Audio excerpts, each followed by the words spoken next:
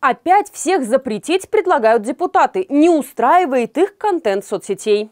Редакцию «Спутника» вежливо попросили извиниться за материал о строительстве домов в Баткене. Кто просил? Администрация Верховного. Модный приговор в стенах парламента «Джемпер» – это не по красоте. Самолечение опасно для жизни. В Кыргызстане зафиксирована смерть от аллергии на цефтриаксон. Привет всем, это программа «Не новости» и с вами я, Олеся Цурикова.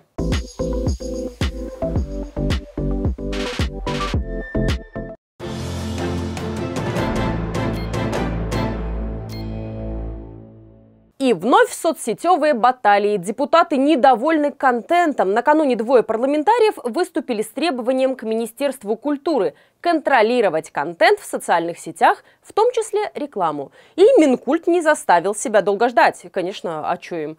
На базе ведомства и впрямь появится Центр информационной среды. Его цель – контроль, контроль и еще раз контроль. Ну и запреты, разумеется, закрывание, блокировки и вся подобная чешуйня.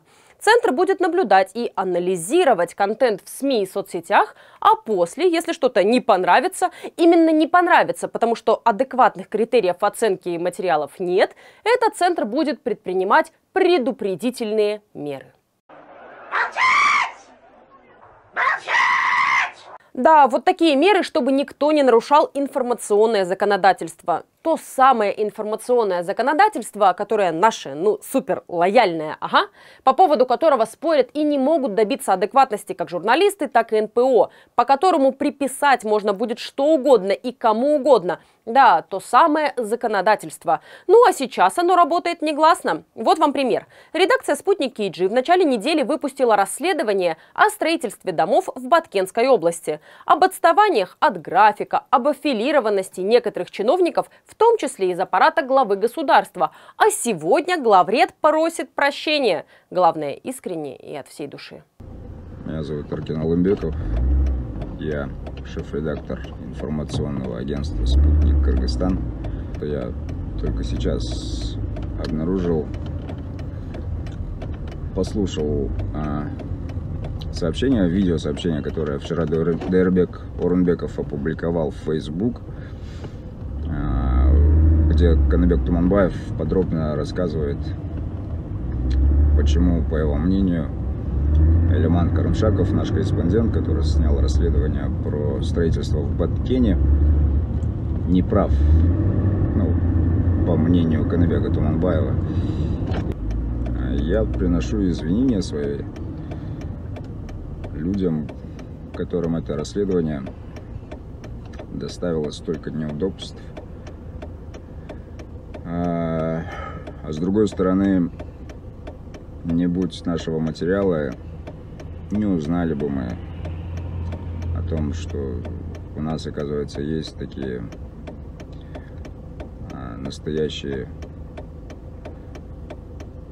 настоящие прям великие люди, а, о которых надо говорить.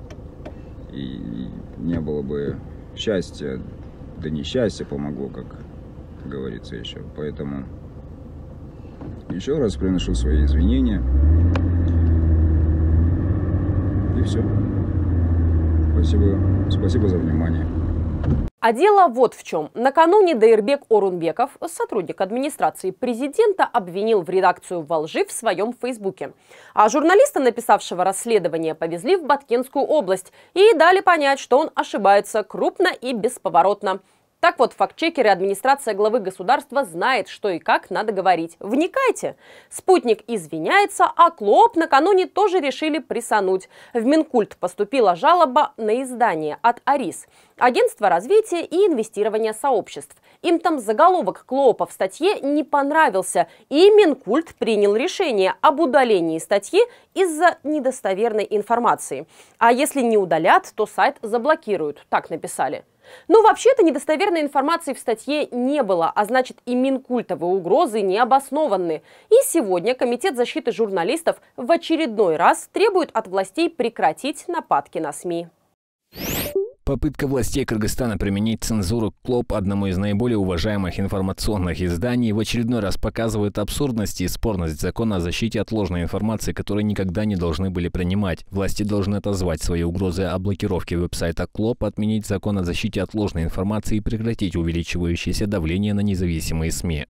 Должны-то они должны, а вот будут ли – большой и весьма спорный вопрос. И это уже не первый случай, когда по закону Гульшата Сылбаевой госорганы безобразничают. Ранее пытались заблокировать сайт 24KG, в конце октября Минкульт заблокировал сайт радио Азатык, теперь вот Клооп. Это у нас свобода слова такая в Кыргызстане.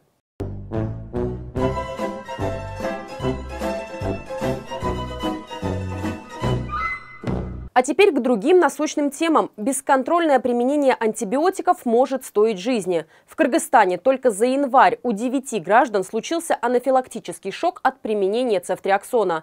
Один скончался, сообщает пресс-служба Минздрава. Цефтриаксон – это сильнейший антибиотик, который колят внутримышечно. Анафилактический шок – это сильнейшая аллергическая реакция. Анализ показал, что реакции были на препарат из разных стран-производителей, то есть судить о том, что партия была некачественной, сложно. В пяти из девяти произошедших случаев препарат вкалывали без назначения врача. Учитывая скорость развития анафилактического шока и факта игнорирования лекарственного и аллергологического анамнеза, парентеральное введение должно проводиться строго под наблюдением врача и только в процедурных кабинетах организации здравоохранения. Пациентам, лечащимся амбулаторно, рекомендуется принимать антибиотики в таблетках. Антибактериальные препараты должны отпускаться строго по рецепту врача. Медики в очередной раз призвали население не заниматься самолечением. Это чревато серьезными последствиями и даже летальными исходами. И продолжая тему о медицине. За смерть 19-летней роженицы в больнице Канта накажут медиков. Это стало известно накануне в ходе заседания Республиканской комиссии по снижению материнской смертности. Напомню, эта страшная история случилась в начале января. 3 числа Нураим Ишинбекова родила ребенка. После ей стало плохо, и ее отвезли в больницу. Там девушка скончалась от полиорганной недостаточности 11 числа. Ее муж обвиняет врачей в бездействии. Смерть молодой матери – это огромная трагедия как для ее семьи, так и для нас. Почему, начиная с первички и заканчивая третичным уровнем, мы, медики, упустили ее состояние? Данная ситуация говорит о том, что были несогласованные действия между двумя организациями района. Нет надлежащего контроля со стороны ЦОВП района. За жизнь каждого пациента, за каждую мать и дитя мы должны биться до последнего. За все упущения виновные должны получить соответствующее наказание. В итоге координатор здравоохранения Чуйской области получила выговор, а за слабую организацию оказания неотложной акушерской помощи от занимаемых должностей освободили директора ЦОПВ Сокотинского района, ее зама, заведующую роддомом. Также уволили акушера-гинеколога из Бишкекского роддома за отказ на выезд по линии санавиации.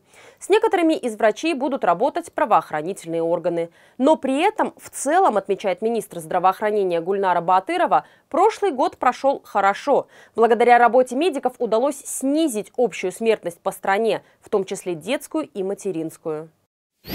Так, показатель младенческой смертности по оперативным данным снизился на 7,1%, показатель материнской смертности на 23,4%. Эти достижения – результат кропотливой работы медицинских работников системы здравоохранения страны. Теперь наша задача – стабилизировать и удержать показатели на этом уровне и снижать с каждым годом. По словам руководительницы ведомства, в этом году Минздрав продолжит улучшать качество предоставляемой помощи. В частности, улучшать будут и педиатрическую службу. Для реализации этой цели Минздрав намерен построить в Бишкеке детские стомполиклиники, а в Волжской области новую детскую больницу с современным оборудованием. Правда, когда начнется это самое строительство, непонятно. Сейчас, по словам министра здравоохранения, готовится только техническая документация. А тем временем наш соотечественник Акджол Шингибаев нуждается в операции по пересадке. У мужчины цирроз печени. На операцию нужны от 20 до 60 тысяч долларов, в зависимости от учреждения, где ее будут проводить. У семьи таких денег нет.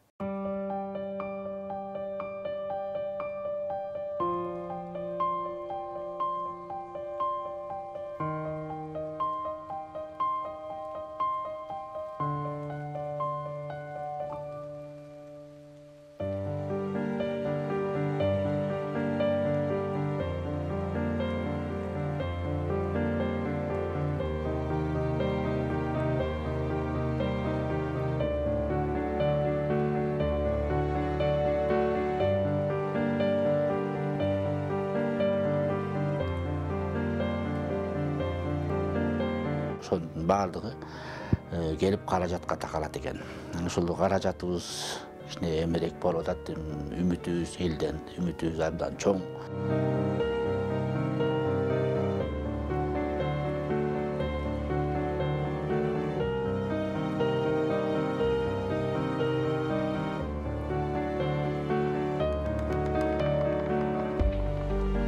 мисалы үчүн клиникалар бар экен жаңы баштап аткан жаңы ачылып аткан клиникалар бар экен. Аларга жыйырма миң доллар керек дейт э, жакшы клиникалар баягы бүт э, пересадкасын жакшы кылып беребиз дегендер элүү миң алтымыш миң долларга чейин кетип атат да ошолордун баардыгы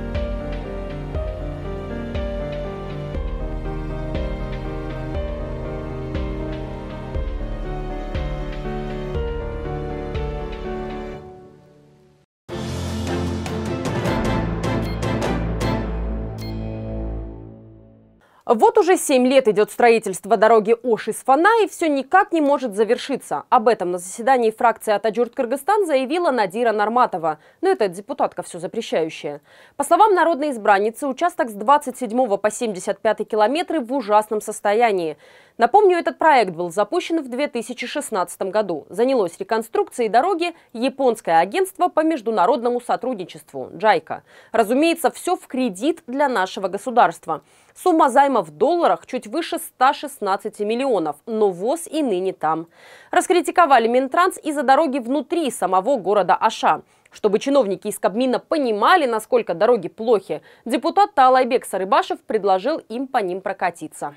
Вы должны своими глазами увидеть то, что происходит в Аше. Чтобы доехать до аэропорта требуется 2-3 часа, хотя он находится близко к городу. Необходимо какие-то улицы сделать односторонними. Министру транспорта и министру финансов стоит самим поехать туда и испытать на себе.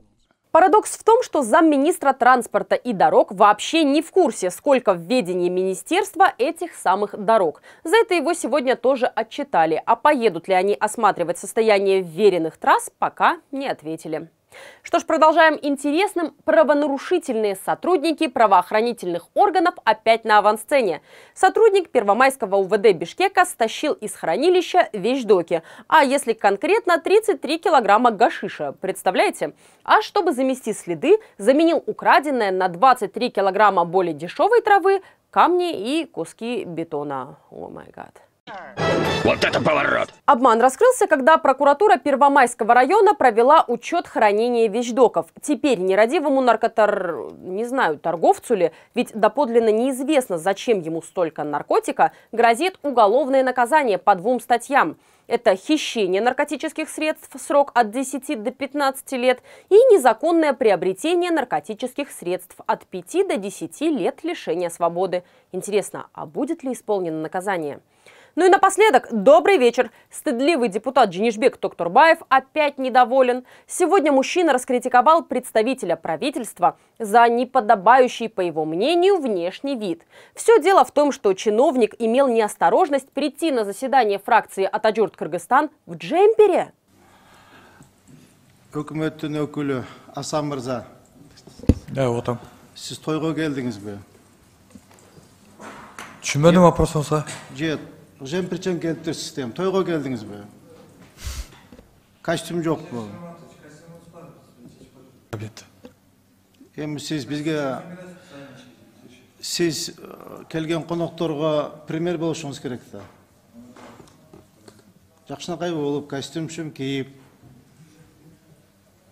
галстук тагынып келбейсизби анда эртең деле биз жемпир кийип келели боже, боженьки мои, серьезно, джемпер? Я понимаю, он бы в гавайских шортах и сланцах завалился, но это ведь классическая одежда. Проблем других, что ли, нет?